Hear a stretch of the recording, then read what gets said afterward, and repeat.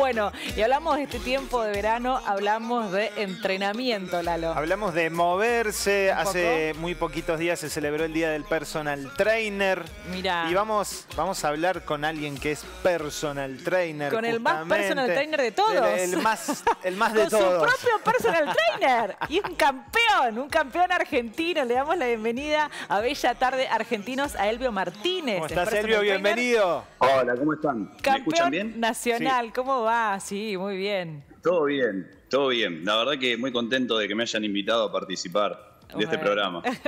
Felicitaciones por todos los logros, ¿eh? por todas tus medallas. Bueno, sos un campeón nacional Muscular Men's Physique de la IFBB. FBB, así Muy es. bien. Bueno, felicitaciones. ¿Cómo se llega a todo esto? Mucha disciplina, me imagino, ¿no? Sí, es, es un camino, la verdad que es un camino. Eh, si bien yo no hace tantos años que compito, hace 25 años que entreno y digamos es como si yo me hubiese empezado a preparar el primer día que sostuve una mancuerna en las manos. Eh, ¿Por qué digo esto? Porque cuando vos a una persona le decís cuántos años hace que competís, y vos le decís que hace 5 años que competís, o 6, o 4, o 3, piensan que en 3 años estás para competir. Y la verdad que es un camino largo, es un proceso, hay que tener en cuenta que es un camino de mucha disciplina, de paciencia, eh, de, de resignar cosas, eh, porque es un sueño que vos estás cumpliendo, haces algo que te gusta y obviamente tenés que resignar cosas en el camino Claro. para poder llegar a eso. Me imagino que es una competencia, bueno, cada, cada elección de tu vida, de tu día también, o sea, que no te bajas nunca de esa competencia que es con vos mismo también, me imagino, ¿no? Tal cual, yo- ese es el mensaje que le doy yo a mis alumnos puntualmente. Hay competidores que van obviamente con la idea de ganarle a todos, no Sí. está mal, pero yo creo que la competencia es con uno mismo. A todos les digo, vos mirate el día que empezaste a prepararte y mirate cómo estás en la actualidad o el día que te subís al escenario. Porque ese día, el día que te subiste al escenario, es la recompensa de todo el esfuerzo que hiciste. Eh, cada año que pasa te es como que te comprometes más. Por ahí cuando yo empecé a competir no me lo tomaba tan, tan así como ahora. Ahora es como que mido lo que como, me fijo que como, me fijo los permitidos. Antes era un poquito más, de, más relajado, pero cuanto más te vas metiendo en esto, más, más ¿cómo te puedo decir? Profesionalmente te lo tomás. Elvio, ¿y, Es un estilo de vida. y cuándo, cuándo te empezó a, a nacer es- esa pica de decir me, me voy a meter en esto? A pesar de que ya venías entrenando y toda la historia. Bueno, te lo voy a resumir para no hacerlo tan largo, pero ponele, yo tenía dos pasiones de, de mi vida, una era dibujar, que eso me llevó a la, a la facultad a estudiar lo que estudié, y la otra era entrenar, pero siempre vi entrenar como un hobby, y de más grande me di cuenta de que era una posibilidad de trabajar de algo que a mí me gustaba, quería dedicarme a eso, entonces empecé a estudiar, a, a aprender, a abocarme, conseguí trabajo en un gimnasio como instructor, y ahí empecé a dar mis primeros pasos. Eh, obviamente cuando empecé a estudiar me empecé a, a preparar a mí mismo porque mi idea era competir. Te estoy hablando hace varios años atrás. Justo mi mujer quedó embarazada, entonces se frustró ese sueño por algo hermoso como es tener un hijo, pero bueno, no, no lo pudo ser en ese momento. Y varios años después, cuando me separé, dije, ¿por qué no voy por ese sueño que quedó truncado? Y ahí fue como empecé a, a meterme más de lleno en lo que era la competición. Y terminó dándose. Se dio que justo pegué a un entrenador que me supo guiar, como es Alejandro Ánfora, que es mi entrenador, y cumplí mi sueño de ser campeón argentino, que en realidad mi sueño era competir, no ser campeón argentino. Yo lo veía como Claro. algo lejísimos. Y se dio, se dio y fue hermoso y fue todo lindo. Qué bueno, mira qué, qué importante el rol del entrenador realmente. Esta, cual, ¿no? esta formación, estas herramientas que vos recibiste de tu propio entrenador que te llevó, bueno, es a ser hoy campeón nacional, que también ahora lo estás transmitiendo vos a las personas que, que asistís, ¿no? Y que vas formando. Tal cual. Yo creo que eh, hay diferentes libritos, ¿no? Cada entrenador tiene su libro, pero si ya hay algo que aprendí de mi entrenador es que uno tiene que ser como bien humano, acompañar, apoyar y, y- y bueno, y estar presente. La verdad que yo no me puedo quejar, tengo un un reentrenador y trato de aprender lo más que puedo de él y de ser lo mejor posible como, como profesional con mis alumnos también. Me imagino. Bueno, y en las competencias, ¿qué es lo que, con qué criterios se evalúa? ¿Qué es lo que se va midiendo? ¿Cómo son esas competencias? Porque a veces vemos imágenes, eh, buenos videos y eso, pero como que no sabemos muy Tal cual, bien ¿no? cuáles son las. Eh, Todo el código interno. Claro. Claro, a ver, eh, existen parámetros dentro de las federaciones a los cuales uno tiene que apuntar cuando elegís la categoría, ¿no? Hay un montón de categorías. Ustedes van a ver que yo tengo un short puesto. Y cuando uno piensa en culturismo, piensa en la persona con la zunga, el Schwarzenegger. Son diferentes categorías. Yo compito en lo que es fitness, dentro del fitness, dentro de muscularmente físico, que usamos short. Eh, bueno, dentro de esa categoría hay ciertos parámetros que, se, para eso hay jueces que estudian para ser jueces, que tienen que evaluar que vos te, te, ¿cómo te puedes decir? Llegues a acercarte o logres lo más parecido a esos parámetros. Ese es el ganador de la competencia, el que queda segundo, el tercero. Cuanto más te, acerques al parámetro, más posibilidades tenés de ganar. Y eso es lo que nosotros buscamos cuando entrenamos. Buscamos que nuestro cuerpo se acerque a esos parámetros. De hecho, hice el curso después, también en IFB. Eh, tengo la suerte de formar parte de IFB dentro de lo que es AFIC, que es la Federación de Capital Federal, y organizamos nuestros propios torneos dentro de lo que es el área de Cava, ¿no? de lo que es Capital Federal. Y es muy lindo, la verdad que la federación en la que estoy eh, también siempre quise formar parte desde chico, porque lo veía Schwarzenegger, veía todas esas, todas esas cosas. te, iba, a preguntar cuáles las revistas. ¿Cuáles eran tus ídolos? Claro, y es, son sueños. Yo creo que como que fui eh, desbloqueando sueños día a día y es re lindo, re lindo. La verdad que me considero una persona feliz. ¿Te gustaría conocerlo a Arnold? Me encantaría, creo que es mi sueño, es mi ídolo Sí me pasó, sí me pasó en el sudamericano. Yo tuve la suerte de formar parte de la selección argentina en el sudamericano que se hizo en Argentina. Y, lo vino a presidir Rafael Santoja, que es el presidente de la federación, y que es el tipo que aparecía en las revistas Muscle Fitness, todas esas revistas que compraba de chico. Y lo vi ahí y no lo podía creer. Salir y verlo que el tipo nos estaba felicitando que salíamos a competir. Y este tipo, toda mi vida lo vi en revistas cuando era joven, ¿no? Ahora un, es un señor grande y estaba ahí, adelante mío, que siempre estaba con Arnold. Entonces fue como, no lo podía creer, era como para, para llorar de la emoción. Para alguien de mi ambiente es un montón. Claro, me imagino. Bueno, veíamos imágenes eh, de, tu antes y tu, de tu presente o tu después, ¿no? Eh, bueno, ¿qué te pasa a vos cuando ves esas imágenes? Nada, me siento contento. Te voy a ser sincero, yo siempre fui muy flaco, me costó mucho subir de peso. Esa foto que puse el antes y el después, yo en un momento empecé a crecer, a crecer, a comer, a comer pero no me cuidaba, no me interesaba tener un cuerpo playero en ese momento. Quería estar grandote y tirar peso. Entonces, claro, en un momento estaba gordo, no me di cuenta y, eh, a ver, no estaba obeso, obeso es otra cosa, pero estaba pasado de peso, no era el cuerpo que yo quería tener. Y un día decidí hacer un clic, empezar a cuidarme, y bueno, y después se me dio por competir y me empecé a cuidar más todavía. Entonces, claro, hay una diferencia abismal entre un tipo de cuerpo y el otro. Y nada, sentís orgullo porque te das cuenta de que si te lo propones puedes lograr lo que quieras. Puedes lograrlo, Eso es bueno ¿Y cómo se siente ese cuerpo? ¿Cómo es vivir con tanto músculo? ¿Se descansa mejor? ¿Se corre mejor? ¿Tenés más resistencia para todo? ¿Cómo es eso? A ver. No, no, la gente se piensa que somos, no sé, como superhombres, pero no, nada que ver. O sea, tenés que trabajar, claro, tenés que trabajar la resistencia para ser un tipo resistente. O sea, yo no sé si corro colectivo. Eh, claro, o sea, yo eh, laburo de una forma estética eh, mi cuerpo. Si yo quisiera ser más veloz o más ágil, tendría que hacer otro tipo de entrenamiento. Lo mío es algo más estético. Obviamente que fuerza tengo, ¿no? Sí. No soy Hulk, pero tengo fuerza, sí.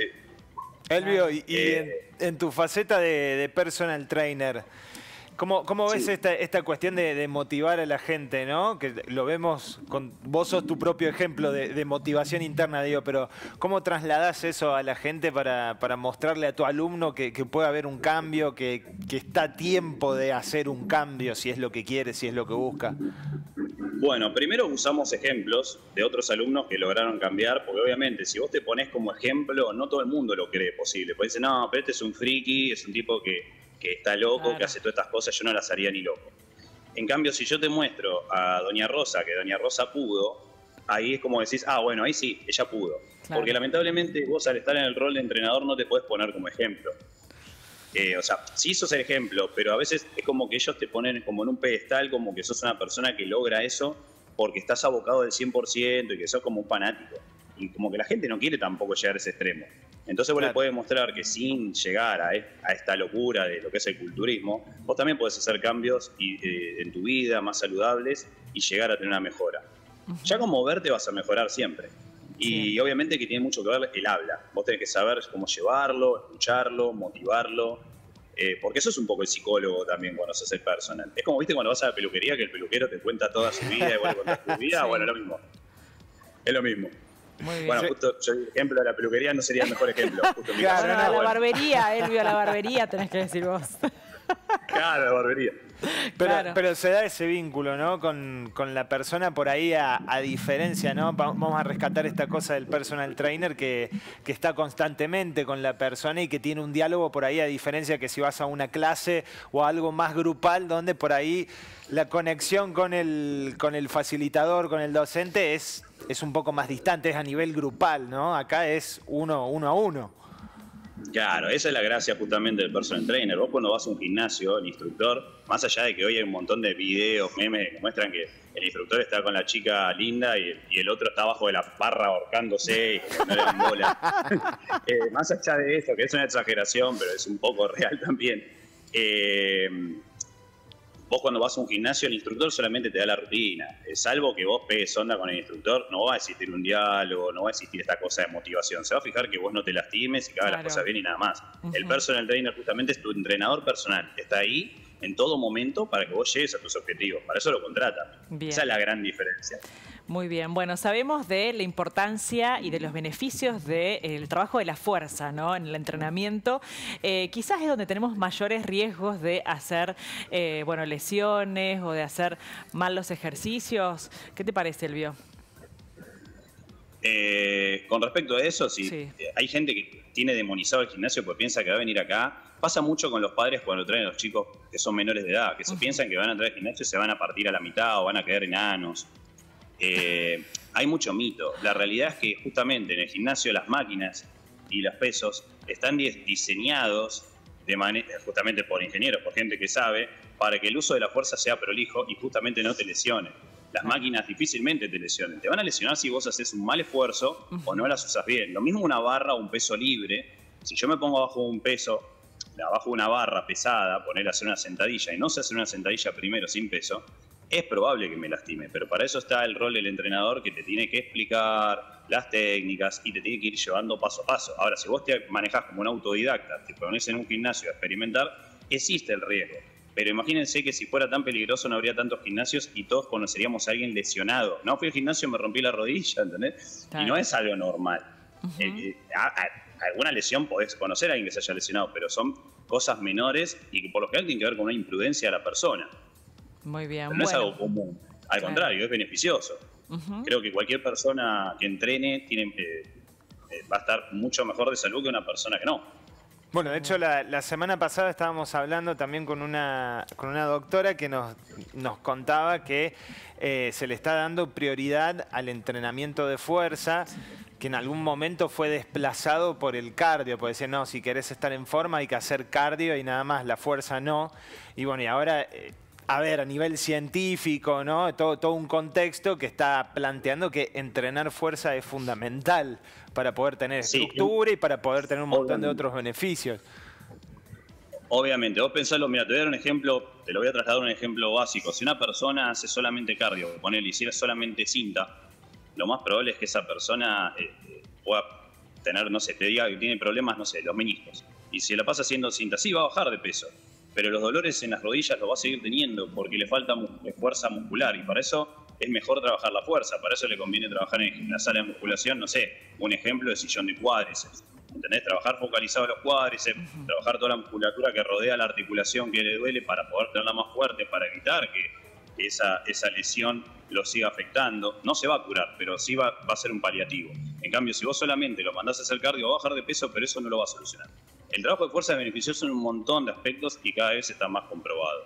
Incluso se puede bajar de peso haciendo trabajo de fuerza. Antes te mandaba, era lo mejor que le podía pasar a un entrenador. Llegabas y decías, quiero bajar de peso. 40 minutos de cinta. Y te mandaba ahí y te morías en la cinta.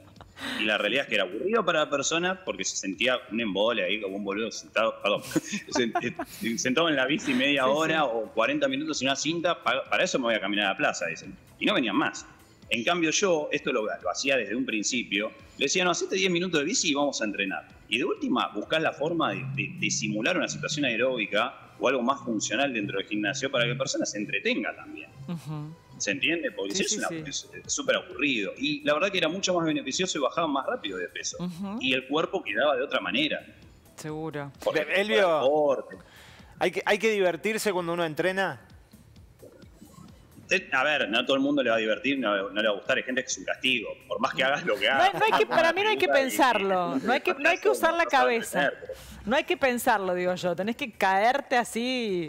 Y si es a primera hora de la mañana, mejor. Cosa que no, no tengas Que capacidad no, de se- no estés- reacción. no estés no. muy despierto Claro. todavía. Claro.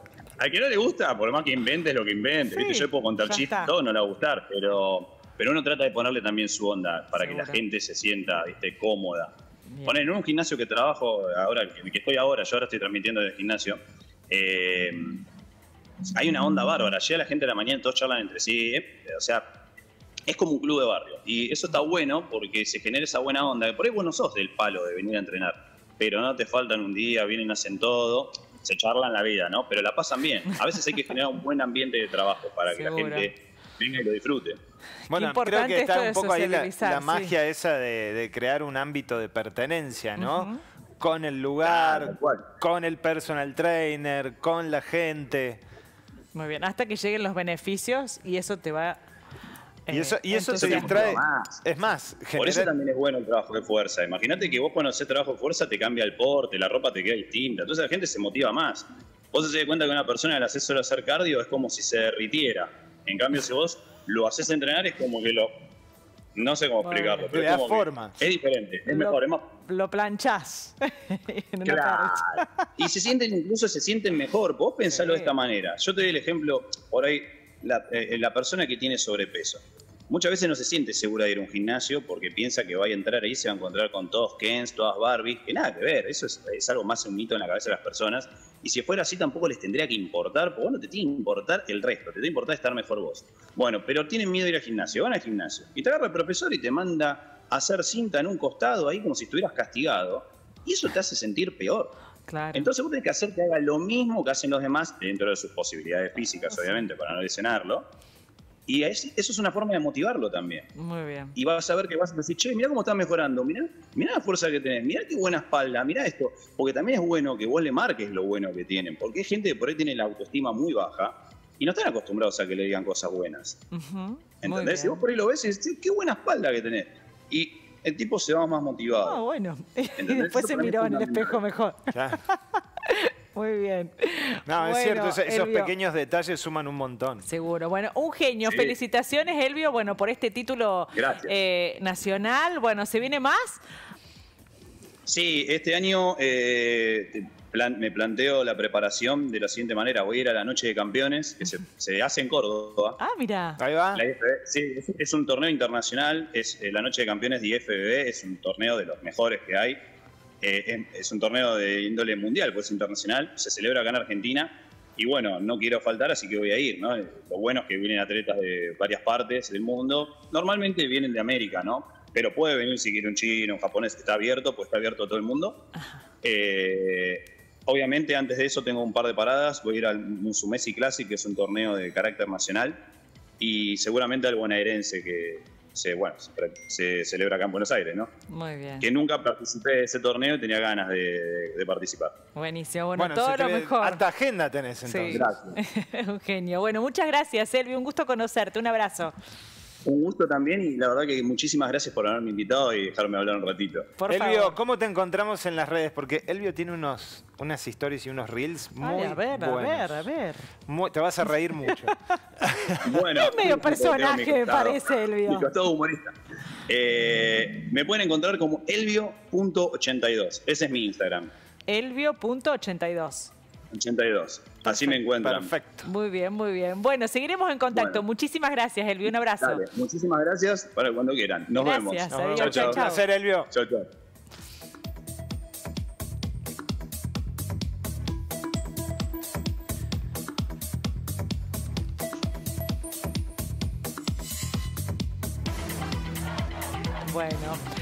Genio realmente, ¿eh? Así Elvio es. Martínez, este campeón nacional haciendo culturismo y también, bueno, personal trainer.